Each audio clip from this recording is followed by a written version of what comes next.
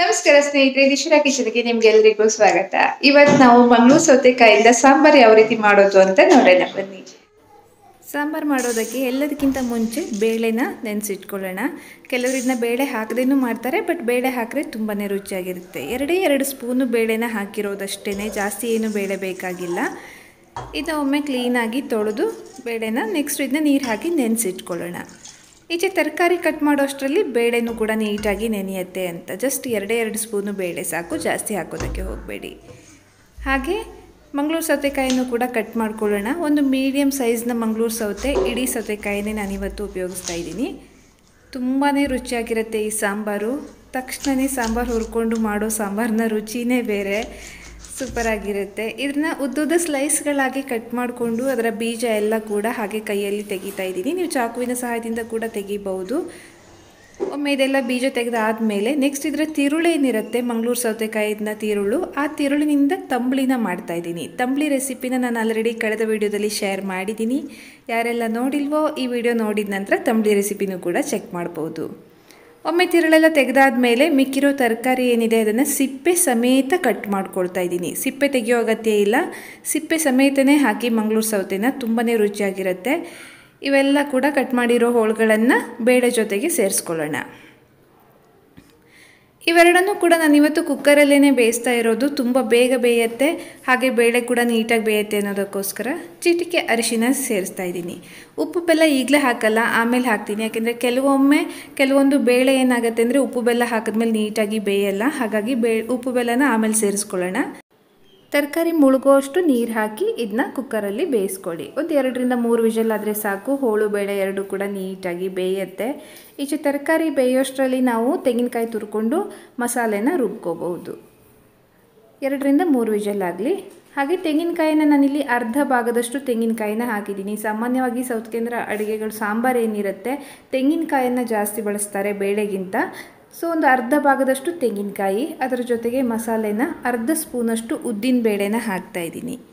ಹಾಗೆ ಅದರ ಜೊತೆಗೆ ಅರ್ಧ ಸ್ಪೂನಷ್ಟು ಕಡಲೆಬೇಳೆ ಕೂಡ ಹಾಕ್ತಾ ಇದ್ದೀನಿ. ನಾವು ಮಸಾಲೆ ಪೌಡ್ರ್ ಮಾಡಿಟ್ಕೊಳ್ಳಲ್ಲ ತಕ್ಷಣವೇ ಮಸಾಲೆ ಹುರ್ಕೊಂಡು ಆ ತರಕಾರಿಗೆ ತಕ್ಕನಾಗಿ ಮಸಾಲೆ ಹುರ್ಕೊಂಡು ಸಾಂಬಾರು ಮಾಡ್ತಾರೆ. ಸೊ ಕೊತ್ತಂಬರಿನ ಎರಡು ಸ್ಪೂನಷ್ಟು ಹಾಕಿದರೆ ಸಾಕು. ಇವನ್ನೆಲ್ಲ ಕೂಡ ಒಮ್ಮೆ ಹುರ್ಕೊಳ್ಳೋಣ. ಉದ್ದಿನಬೇಳೆ ಅರ್ಧ ಸ್ಪೂನು, ಕಡಲೆಬೇಳೆ ಅರ್ಧ ಸ್ಪೂನು, ಕೊತ್ತಂಬರಿ ಎರಡು ಸ್ಪೂನಷ್ಟು ಇಲ್ಲ, ನೀವು ಕಡಲೆಬೇಳೆ ಇರಲಿಲ್ಲ ಅಂದರೆ ಉದ್ದಿನಬೇಳೆನೇ ಒಂದು ಸ್ಪೂನ್ ಹಾಕ್ಕೋಬೋದು ಕೊತ್ತಂಬರಿಯ ಅರ್ಧ ಭಾಗದಷ್ಟು ಬೇಳೆಗಳು ಅಷ್ಟೇ ಥಿಕ್ನೆಸ್ ಬರೋದಕ್ಕೋಸ್ಕರ. ಹಾಗೆ ಕಾಲು ಸ್ಪೂನಷ್ಟು ಜೀರಿಗೆನ ಹಾಕ್ತಾ ಇದ್ದೀನಿ. ಐದರಿಂದ ಆರು ಮೆಂತ್ಯ. ಮೆಂತ್ಯನ ತುಂಬ ಜಾಸ್ತಿ ಹಾಕೋದಕ್ಕೆ ಹೋಗಬೇಡಿ. ಐದರಿಂದ ಆರು ಮೆಂತ್ಯ ಹಾಕಿದ್ರೆ ಸಾಕು. ಇವೆಲ್ಲನೂ ಕೂಡ ಒಮ್ಮೆ ಹುರ್ಕೊಳ್ಳೋಣ. ಸ್ವಲ್ಪ ಬಿಸಿ ಆಗ್ತಿದ್ದಾಗೆ ಒಣಮೆಣಸಿನ್ಕಾಯನ್ನು ಕೂಡ ಇದರ ಜೊತೆಗೆ ಹಾಕ್ತಾ ಇದ್ದೀನಿ. ಖಾರ ಎಷ್ಟು ಬೇಕೋ ನೋಡಿಕೊಂಡು ಅಷ್ಟು ಒಣಮೆಣಸಿನ್ಕಾಯನ್ನು ಹಾಕ್ಕೊಳ್ಳಿ. ನಿಮಗೆ ಎಷ್ಟು ಖಾರ ಬೇಕಾಗುತ್ತೋ ಅಷ್ಟು. ಇವೆಲ್ಲವನ್ನು ಕೂಡ ಕೆಂಪಗಾಗೋವರೆಗೂ ಕೂಡ ಹುರ್ಕೊಳ್ಳೋಣ. ಗೊತ್ತಾಗುತ್ತೆ ಇದರ ಪರಿಮಳ ಬರೋದು. ಸ್ವಲ್ಪ ಬಣ್ಣ ಬದಲಾಗಿ ಕೆಂಪಗಾಗೋವರೆಗೂ ಕೂಡ ನಾವು ಇದನ್ನು ಹುರ್ಕೋಬೇಕು. ತಕ್ಷಣವೇ ಮಸಾಲೆನ ಹುರ್ಕೊಂಡು ರುಬ್ಬಿ ಮಾಡೋವಂಥ ಅಡುಗೆಗಳು ತುಂಬಾ ರುಚಿಯಾಗಿರುತ್ತೆ. ಒಮ್ಮೆ ಇದೆಲ್ಲ ಹುರಿದ ನಂತರ ಕೊನೆಯಲ್ಲಿ ಚಿಟಿಕೆ ಹಿಂಗನ್ನು ಸೇರಿಸಿ ಒಮ್ಮೆ ಮತ್ತೆ ಇದನ್ನ ಫ್ರೈ ಮಾಡ್ಕೊಳ್ತೀನಿ.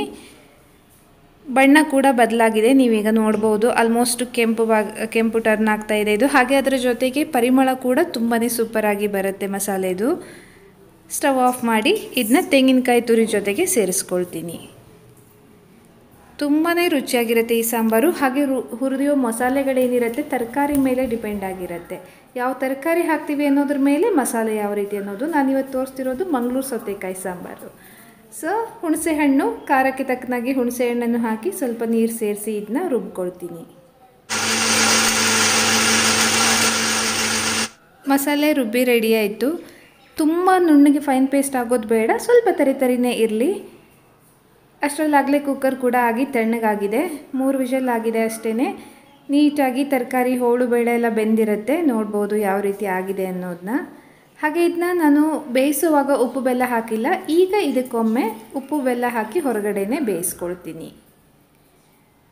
ರುಚಿಗೆ ತಕ್ಕಷ್ಟು ಉಪ್ಪನ್ನು ಹಾಕ್ತಾಯಿದ್ದೀನಿ ಎಷ್ಟು ಬೇಕೋ ನೋಡ್ಕೊಂಡು ಹಾಕೊಳ್ಳಿ. ಹಾಗೆ ಇದರ ಜೊತೆಗೆ ಬೆಲ್ಲ ಹಾಕೋದು ಕಂಪಲ್ಸರಿ. ಸೌತೆಕಾಯಿ ಸಾಂಬಾರಿಗೆ ಬೆಲ್ಲನ ಕಂಪಲ್ಸರಿ ಹಾಕ್ತಾರೆ.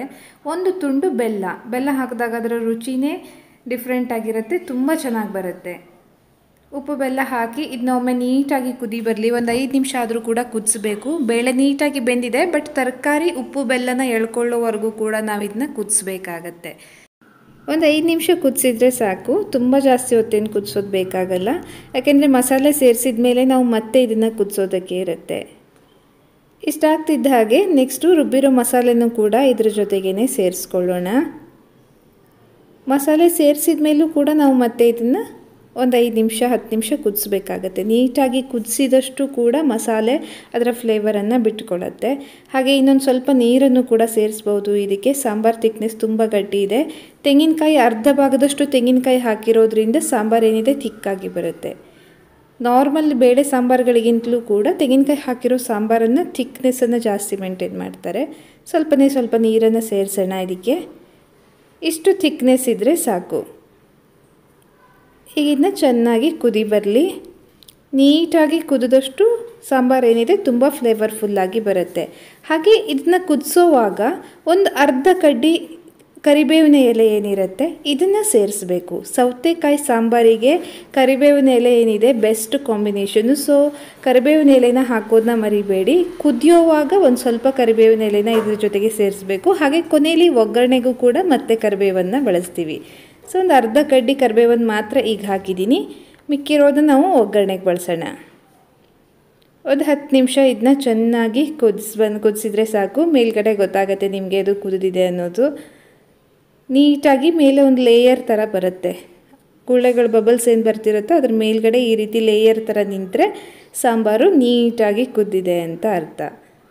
ಸೊ ಇಷ್ಟಾದ ಮೇಲೆ ನೆಕ್ಸ್ಟು ಸ್ಟವನ್ನು ಆಫ್ ಮಾಡ್ತೀನಿ. ಕೊನೆಯದಾಗಿ ಇದಕ್ಕೊಂದು ಒಗ್ಗರಣೆ. ಒಗ್ಗರಣೆಗೆ ಕೊಬ್ಬರಿ ಎಣ್ಣೆನೇ ಬಳಸೋದು ನಾನು ಸಾಮಾನ್ಯವಾಗಿ. ನೀವು ಯಾವ ಆಯಿಲ್ ಬೇಕಿದ್ರೂ ಕೂಡ ಬಳಸ್ಕೋಬಹುದು. ಎಣ್ಣೆ ಸ್ವಲ್ಪ ಬಿಸಿ ಆಗ್ತಾ ಇದ್ದ ಹಾಗೆ ಸಾಸಿವೆ, ಅರ್ಧ ಸ್ಪೂನಷ್ಟು ಸಾಸಿವೆನ ಹಾಕ್ತಾಯಿದ್ದೀನಿ ಅಷ್ಟೇ ಸಾಸಿವೆ ಸ್ವಲ್ಪ ಅರಳ್ಕೊಳ್ಳಿ. ಸಾಸಿವೆ ಅರಳ್ಕೊಳ್ತಾ ಇದ್ದ ಹಾಗೆ ಇದರ ಜೊತೆಗೆ ಒಣಮೆಣ್ಸಿನ್ಕಾಯಿ ನಾರ್ಮಲ್ ಸಿಂಪಲ್ ಒಗ್ಗರಣೆ, ಮಿಕ್ಕಿರೋ ಕರಿಬೇವನ್ನು ಕೂಡ ಒಗ್ಗರಣೆಗೆ ಸೇರಿಸ್ತಾ ಇದ್ದೀನಿ ಈಗ. ಕೆಲವರು ಇದ್ರ ಜೊತೆಗೆ ಬೆಳ್ಳುಳ್ಳಿ ಒಗ್ಗರಣೆ ಕೂಡ ಹಾಕ್ತಾರೆ. ನಾನಿವತ್ತು ಬೆಳ್ಳುಳ್ಳಿ ಒಗ್ಗರಣೆ ಹಾಕ್ತಾ ಇಲ್ಲ. ಬೇಕಿದ್ರೆ ಇದ್ರ ಜೊತೆಗೇ ಬೆಳ್ಳುಳ್ಳಿನೂ ಕೂಡ ಸೇರಿಸ್ಕೋಬೋದು. ಸಿಂಪಲ್ ಆದ ಒಗ್ಗರಣೆ. ಒಗ್ಗರಣೆ ಸೇರಿಸಿದ್ರೆ ಸಾಂಬಾರು ರೆಡಿನೇ ಆಗೋಗುತ್ತೆ.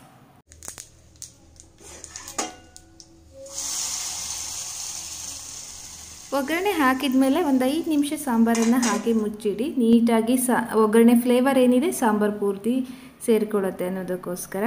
ಮಂಗಳೂರು ಸೌತೆ ಸಾಂಬಾರು ರೆಡಿ ಆಯಿತು. ಬಿಸಿ ಬಿಸಿ ಅನ್ನದ ಜೊತೆಗೆ ಸೌತೆ ಸಾಂಬಾರು ನಿಜಕ್ಕೂ ಕೂಡ ಸೂಪರ್ ಆಗಿರುತ್ತೆ. ಖಂಡಿತವಾಗಿಯೂ ಕೂಡ ಮನೇಲಿ ಇದನ್ನ ಟ್ರೈ ಮಾಡಿ ನೋಡಿ. ನೋಡೋದಕ್ಕೂ ಕೂಡ ಸೂಪರ್ ಕಲರ್ಫುಲ್ ಆಗಿದೆ. ಊಟ ಮಾಡೋದಕ್ಕಂತೂ ತುಂಬಾ ರುಚಿಯಾಗಿರುತ್ತೆ.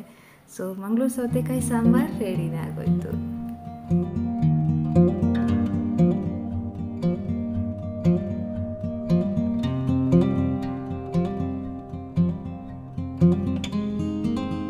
ನೋಡಿದ್ರಲ್ವಾ? ಸೌತೆಕಾಯಿ ಸಾಂಬಾರ್ ಹೇಗೆ ಮಾಡೋದು ಅಂತ? ತುಂಬಾ ರುಚಿಯಾಗಿರುತ್ತೆ. ಖಂಡಿತವಾಗಿಯೂ ಕೂಡ ಮನೇಲಿ ಇದನ್ನ ಟ್ರೈ ಮಾಡಿ ನೋಡಿ.